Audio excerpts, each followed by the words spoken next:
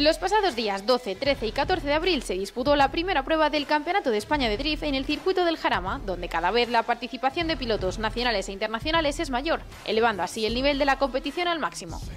El viernes al mediodía empezaron las verificaciones técnicas y administrativas para dar paso a unos entrenamientos libres. El sábado, a primera hora, los pilotos que no habían podido llegar el viernes pasaron las verificaciones y acto seguido se realizó un briefing explicando la forma de entrenamiento y clasificación. Poco a poco, los pilotos fueron entrenando sus mejores pasadas para prepararse para la ronda de clasificación. En Semipro optan a un top 16. Eso quiere decir que solo clasifican los 16 mejores pilotos. En primera posición clasificó Xavier Caballer con 90 puntos. En segunda posición Pedro García con 86 y en tercera el francés Xavier Echeverría con 85 puntos. En Pro tenemos un top 32. El italiano Alex Gritti clasificó en primera posición con 95 puntos. En segunda, el portugués Raman Kadachenka con 95 y en tercera posición el francés Jason Banet con 94.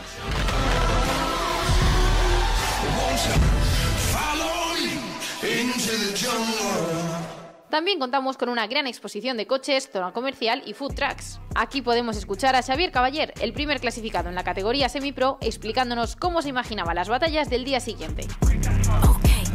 Estoy aquí efectivamente con Isabel Caballero. Isabel, cuéntanos qué tal, cómo ha ido, ¿contento? Bueno, sí, contento. Que sepa yo, creo que he hecho 90 puntos, estoy primero, muy contento. He hecho una primera pasada muy limpia, en la última curva me un poquito para adentro, he hecho un cero.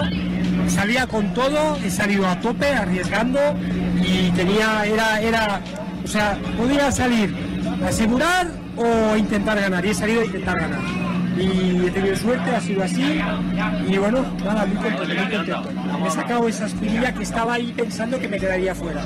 Pero bueno, mira, contento, ha salido bien y, y para adelante, mañana qué tal las batallas. El trabajo de momento por ahora ha hecho de la mejor manera posible. El coche, por supuesto, ha respondido también perfecto, ¿no? Perfecto, hay que hacer una pequeña modificación en el tema de la para que mañana eh, el tema del, del, del lugar del Manji en el sector S con pilotos más lentos para que el coche no pierda velocidad, que podamos recuperar rápido, hacer buenas batallas y ya está. Solo una pequeña modificación para que todo salga bien. Y si te pregunto por quién crees que va a ser tu mayor rival. Hay varios, hay varios. hay nivel. Hay mucho nivel. Semipro está muy duro, está muy duro. Pero bueno, estamos los mismos que el año pasado, otros de nuevos también muy buenos. Y bueno, es la primera carrera, es muy pronto para decir quién es tu, tu rival más. Bueno, está Pedro, está Xavi Echevarría, está Xavi Pardos, está Mar Blanco, está, están muchos, me, me dejo varios. Pero bueno, nada, todos a tope y que, y que gane que les haga mejor. Acabamos de terminar de, este, de hacer la quali de Pro y Pro 2, de Semi Pro, y, este, y la verdad que ha estado bastante, bastante interesante. Se está viendo ya la subida de nivel aquí en España, este, con muchos extranjeros, ¿no? Traen aparatos increíbles. Y también se nota el nivel de los españoles, que están creciendo también con, a, nivel de, a nivel mundial. Este, las trazadas eh, se veían muy bien desde fuera, ya nos hemos tenido que concentrar en ver los fallos exactamente para ver okay, lo que hemos pedido del briefing, lo que hemos pedido de este trazado, y la verdad que ha estado bastante, bastante interesante, muy apretado. Así que mañana nos esperan unas batallas muy interesantes, muy muy buenas. Y, este, y empezamos con, con Semi Pro, a ver qué tal este, se pueden ajustar uno con el otro haciendo el tándem. Y ya las de Pro, y os cuento cómo, cómo va a quedar eso. Así que con muchas ganas de ver las batallas de mañana. Y espero que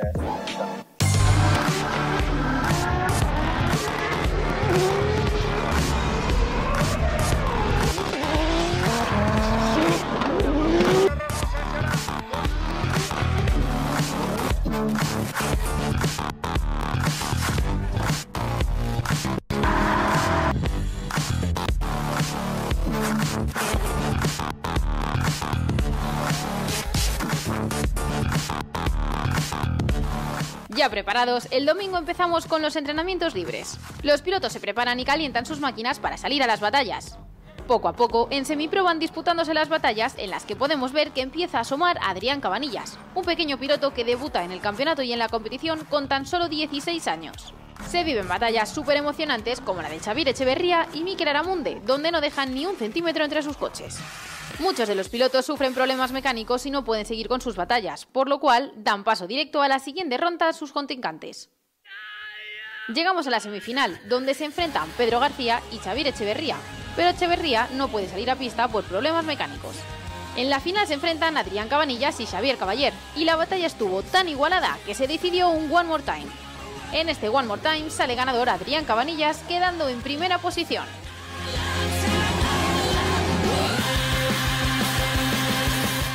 Pasamos a las batallas de pro donde 32 pilotos llegados de toda España y parte de Europa empiezan a luchar por ser los mejores y alzarse con la victoria. Vimos batallas impresionantes ya que el nivel era brutal. Llegamos a la semifinal donde se enfrentaron Logan Postigo y Joao Vieira.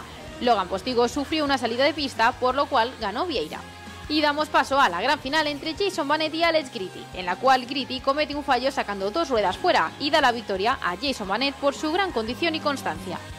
Este campeonato no ha hecho nada más que empezar. Nos queda toda la temporada por delante para decidir quién se alzará con el triunfo de campeón de Pro y Semi-Pro de Drift Spain 2024. Muchas gracias y nos vemos en Miranda de Ebro en la segunda prueba de Drift Spain los días 29 y 30 de junio. Efectivamente, aquí le tenéis. Adrián, enhorabuena. Nadie apostaba porque en tu debut directamente te llevaras la victoria. Acabas de hacer historia. ¿Eres consciente de esto? Más o menos, pero a disfrutarlo. ¿Cómo lo has vivido? ¿Cómo has vivido el fin de semana? ¿Cómo has vivido la ronda? ¿Cómo has visto esta, esta final? ¿Pensabas que tenías opciones realmente? Eh, el fin de semana, al principio el trazado se nos hace un poco complicado porque no tenemos potencia, pero con buen uso del embrague siempre sale. Desde luego, buenas manos para la corta edad que tienes. Bueno, se hace lo que se puede.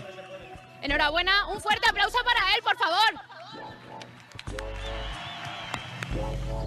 Congratulations. Amazing show, a perfect weekend. So, how do you feel? Uh, thank you. I'm really happy uh, because it's the first race I win. Uh, so, what do you expect for the rest of the season? the same. Congratulations, enjoy it. Thank you. Thank you very much.